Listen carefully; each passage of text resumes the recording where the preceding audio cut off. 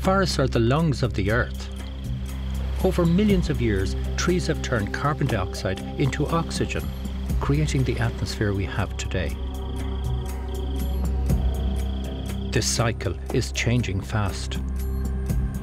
Earth's carbon sinks are being emitted back into the atmosphere as the harmful gas carbon dioxide.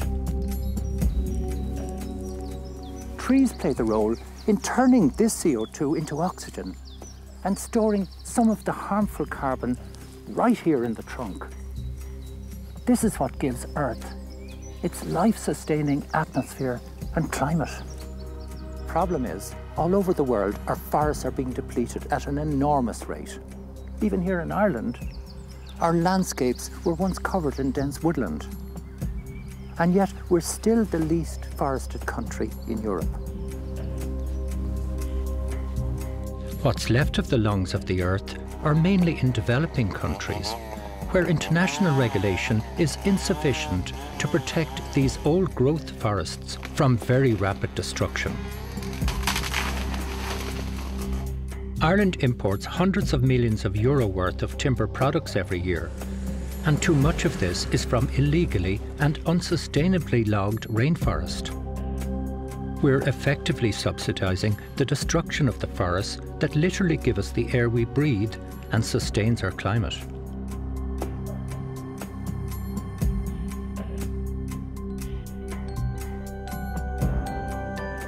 The good news is we can replace most of these imports with our own resource while creating thousands of local jobs. This programme will explore the problems, the pitfalls, the growth and opportunity of Ireland's forestry future.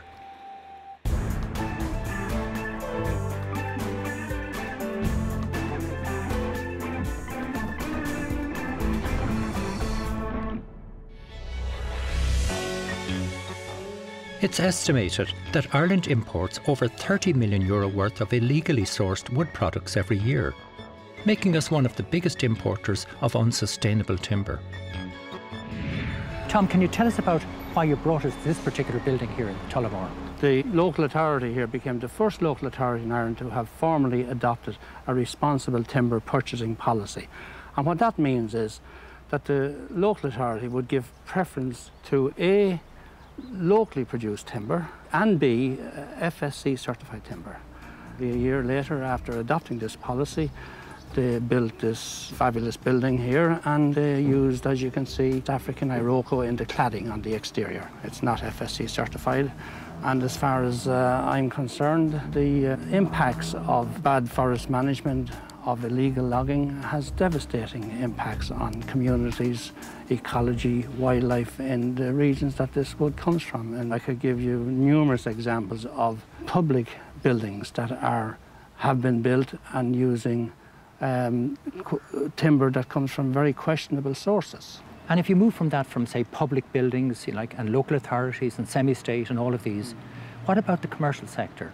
And even what about our homes? Right. Is there a lot of this tropical hardwood timbers being used in Ireland that is not FSC certified? Yes, and in particular flooring. Flooring is a huge uh, volume of wood used in this country. Also, garden furniture, decking for piers, and all of the, a lot of this is, is, is made from tropical wood. And most, if not all, is coming from very questionable sources. Have we got the species here in Ireland to do all of these things. We started dealing in tropical woods because we thought we didn't have enough of our own. But now we have quite a substantial forest cover. We are producing more woods that would do the same work as this, and a better quality, and it's cheaper. Offaly County Council claim that they made all efforts to source sustainable timber. As an architect, I've designed large timber buildings for 40 years and have never had a problem with only sourcing sustainably certified Irish or European timber products. What you see behind me is not an exception. It's happening wide scale across the country, not just in public buildings, but in so many of our commercial buildings and in our homes also. When you look at that wood used there, tropical hardwood, that's not sustainable, the damage it's doing to wildlife and to habitats and in terms of carbon emissions is massive. but at the same time, it is depriving Ireland of vast numbers of jobs that would be doing good for this country instead of that money going into doing vast amounts of damage.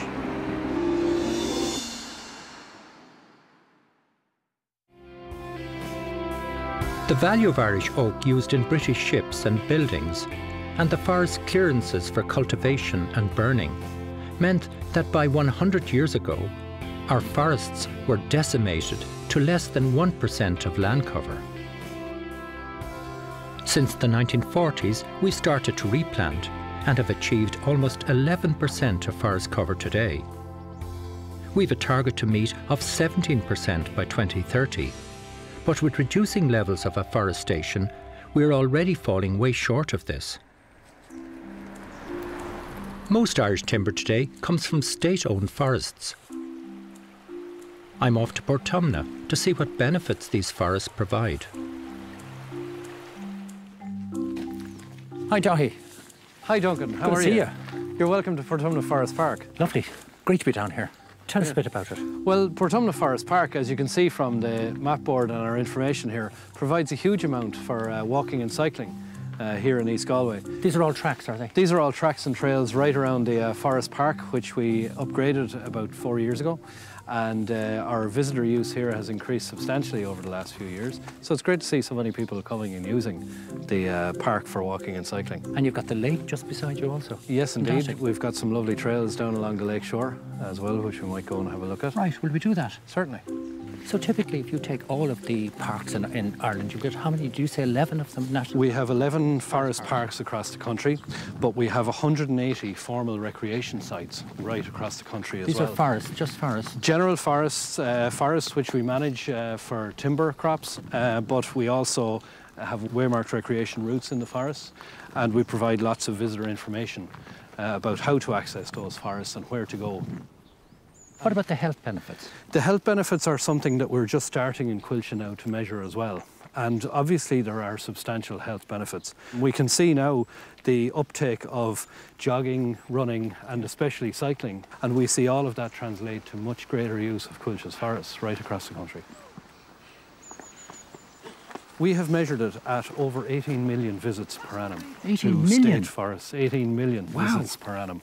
So it's a substantial amount. And indeed, that brings us to the whole economic benefits of uh, forest recreation in Ireland. And there's a public good value that you can attach to that, where you can measure the benefit uh, for forest recreation and actually put a figure on that. And that figure is nearly 100 million euros of public good benefit. So without now the commercial timber that you get in your forests, would all of this amenity be, be accessible? Well, it's very important to understand, I suppose, that the recreational access that we provide is something that, uh, that we actively manage. So there is a cost attaching to that as well. And without the commercial aspects of the, the forest industry that we, we manage, the recreational access wouldn't be possible.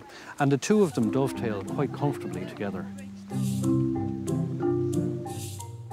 So is this now a typical area that would be clearfelled? Yes, this is an area where we're close to the lakeshore here, and this is a stand of Norway spruce that's approaching its clearfell age of about 42 or 43 years. So this will be clearfelled uh, in time, and we'll open up more vistas to the lakeshore below us, and uh, it will be replanted then. Um, So this is really a commercial value in here. Exactly. This But- is the commercial aspect Yeah. of forestry here. But still, the area. public can walk through this and enjoy it. So it's amenity and commercial both working together. Exactly. So you must love your work, Dáithí. Yes, uh, it's a very enjoyable, very rewarding uh, work uh, in the whole area of recreational trail development and, uh, and recreation management. And as you can see here in Portumna Forest Park, we're able to very carefully balance the commercial aspects of what we do, the recreational acce- access, and the landscape value that you can see here along the lakeshore.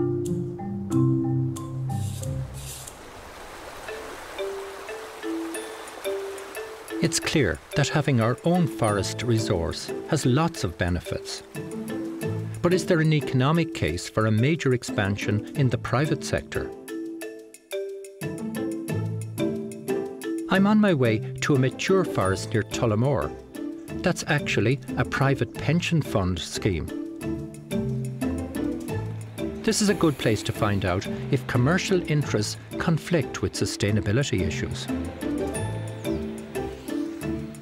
Donal, this Norway spruce here, how old is that and how much is it worth? This Norway spruce is about 28 years old, and at the moment it's worth around about 30 euro. That's not very much, is it, after nearly 30 years of age? Well, you, you, you have to look at the area. For an acre, it would be worth, at clear fell time, at felling time, it's worth around about 10,000 euro per acre. So the value of it grows, and that'll happen in about 15 years, as I say. When you talk about FSC certification, What's, what's involved in that? To get FSC certification, you have to show that you manage your woodlands according to good economic principles, particularly good environmental principles and social principles as well. So effectively, what we do here is we try and encourage biodiversity. Our felling areas are not too large. Any interesting species, we try and preserve them.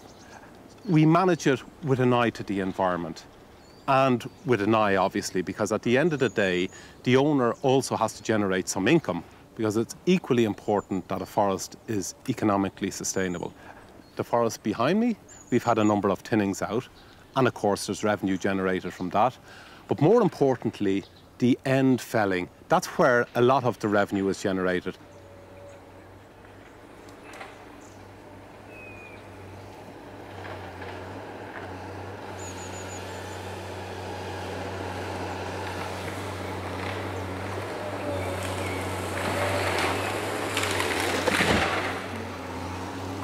Big machinery working in a forest like this, harvesting mature trees, we think of damage being done. But in fact, this is the most critical stage in sustainability. It's the economic stage. This is where the resource produces timber that makes this whole forest here happen.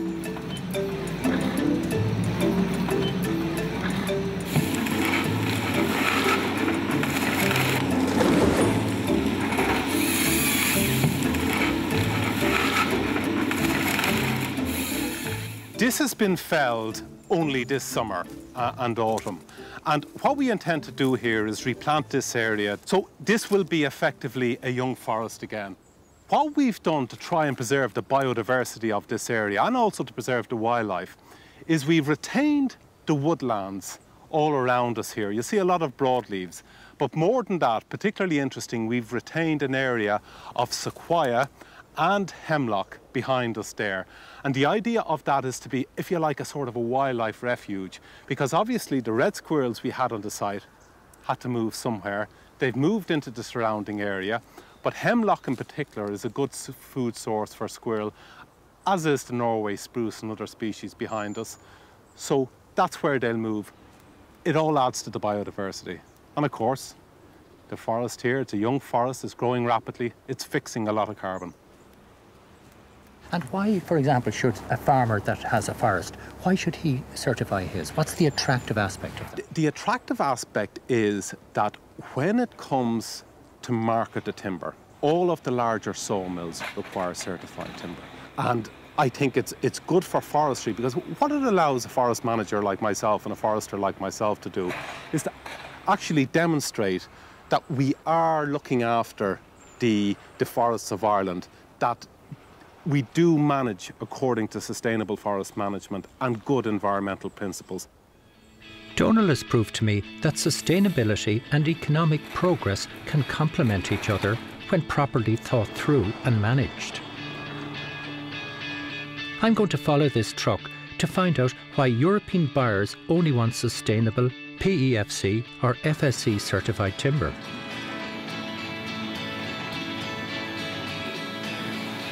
So can you describe the whole process here from when the round log comes in here in a truck? Yeah, so we're taking the logs from throughout Ireland, we're bringing them in here in the lorries, processing through our grading line, which grades the logs by diameter. And we bring them through the sawmill, we process them. Out of that, we get the timber for carcassing, timber for pallet, timber for fencing, and timber for decking. We also get the co-products, the residual products, which would be chips, sawdust, bark. The centrepiece that would go on for further processing would be the carcassing construction material. And it, uh, you can see in the background there, there's an X-ray grading machine, which was the first of its kind in Ireland. And it grades it for density and knot area ratio. So it looks at the number of knots in the timber. And we also, on that, we have a module regarding the moisture content. So we're able to see the moisture in every single piece. So we're able to reject it both on grade and on moisture. And where does that timber go to? One third domestic market and two thirds export. So since the downturn in 2007, how is your business working out? Well, I'm glad to say because of the export markets, we actually have actually hired people and we've increased our outputs since the downturn.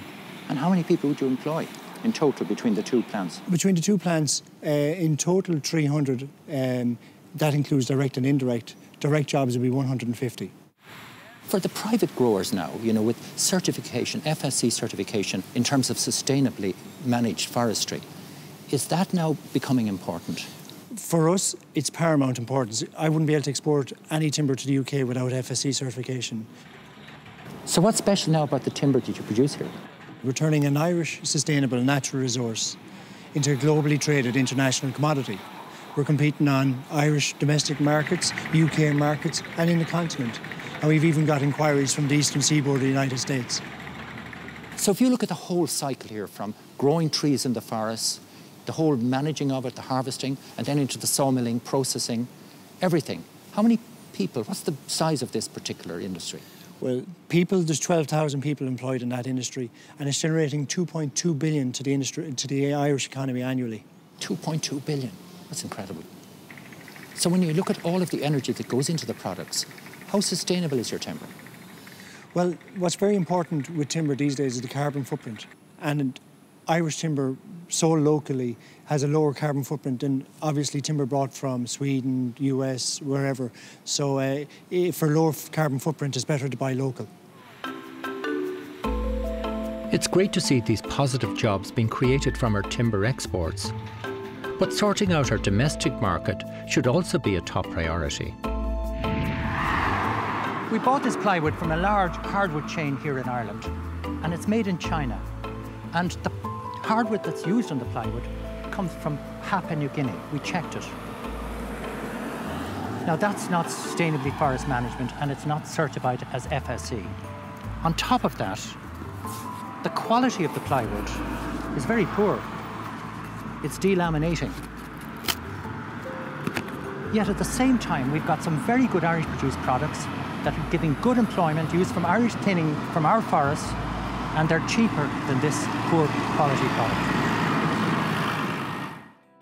Medite MDF, together with Smartply OSB, are two Irish companies that produce imaginative quality board products out of sustainable Irish timber.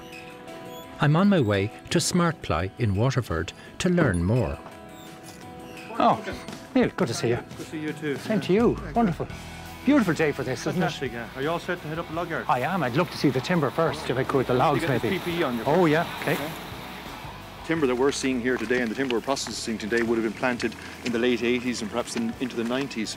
Spruce and pine mainly. All thinning, is but, it? You know, all thinnings, first, second thinnings. Um, some tops of trees that came from Clearfell.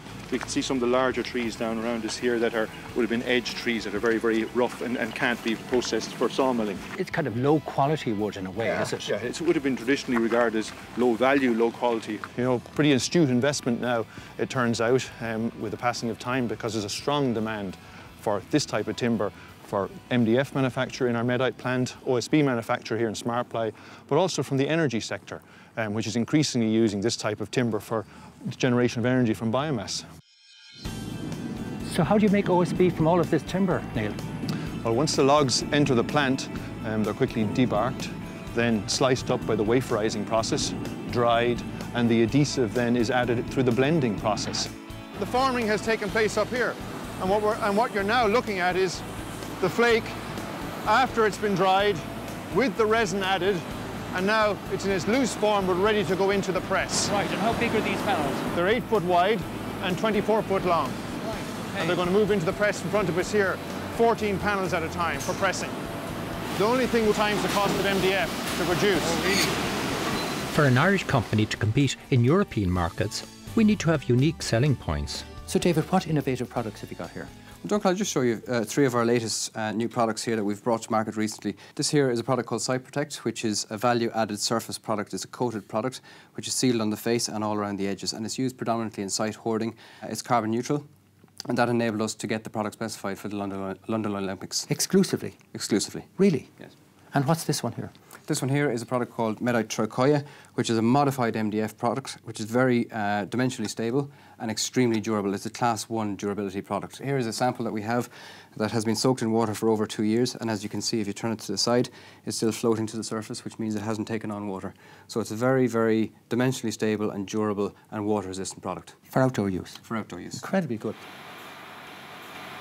So how does your OSB now compare with imported plywoods that are coming into Ireland? I get extremely angry and extremely frustrated when I look at plywood being used in applications in many cases, you know, in important jobs around the southeast, around our capital city. Plywood that has come from overseas, in many cases, is of poor quality. Um, in most cases, is of dubious sustainability. And when you, can when you think that a product that can do the same job is certified, has guaranteed quality, and is competitively priced, is available in Ireland supporting Irish jobs, you know, it is frustrating. And is all your timber now FSC certified in terms of sustainably managed forestry? All of our products here in Medite and SmartPly are FSC certified, which is absolutely vital for the markets that we're playing in because it is, you know, the, the recognised number one independent stamp of sustainability for forest products today. So much revenue in exports does this bring into Ireland from both your plants?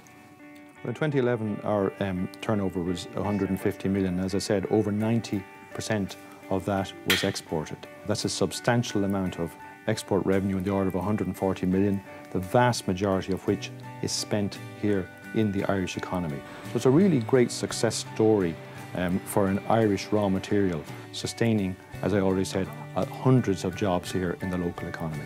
You know, Duncan, I think it's a, it's a type of business that this country needs more of. There's an unlimited global demand for timber and forest products into the future, and it's clear that Ireland can benefit.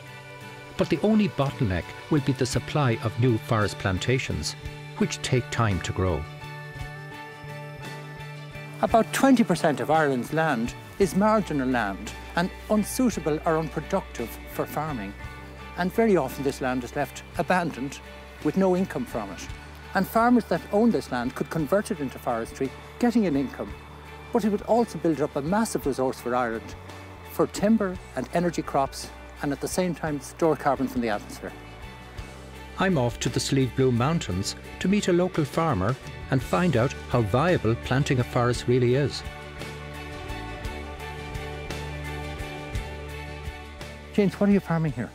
I'm farming mainly cattle and sheep and a few horses, apart from the forestry. I have about a third of the farm in forestry, about 65 acres. And when did you plant this? This was planted in 1988. Hey, and at the time, was this were you quite unusual now to be putting a private plantation in? Like I was, this? yeah. I was probably uh, one of the few that, that were planting, doing private forestry at that time. You know, it was so new. So, James, how's this worked out financially for you? It has worked out very well because we get we get a thinning about every three years out of it. I've started my first thinning here uh, uh, when it was 13 years old. And uh, we're very, very fortunate in that I'm surrounded by sawmills and uh, stake mills. So it's very easy to get the premium price for your product because they're so close. So it has brought in a very, very good income. And of course, now these particular trees here, these are 24 years old. Yeah. When will they be mature now to, to, for, for timber? They will be mature enough now in about five years' time for sawlog. And will which that will be, be clear fell. Clear fell. The, the bigger it grows, the more valuable it is up to a certain point. So, like at five, about five years' time, it'll be at its maximum value. Right. Uh, per cubic metre. So really, this is going to be a great resource. It will be a great resource, yeah. Really, it, it, I look at it as a pension. Were you happy that you did this? The only regret I would have is that I didn't plant sooner. Really? Yeah. Okay. Yeah. So really, for land like this, Yeah. this is really the best thing. It's ideal. It's ideal. I think it's it's pure waste leaving land that isn't producing a valuable crop, uh, you know, in the line of livestock or whatever, leaving it idle. If we want to protect biodiversity, conserve natural resources, and maintain our climate, we need to greatly expand our forest cover. We need to ensure that we only use sustainably certified timber, and we need to find long term uses of wood to lock up carbon from the atmosphere. By doing this, we'll be providing many critically important social, environmental and economic benefits for our society into the future.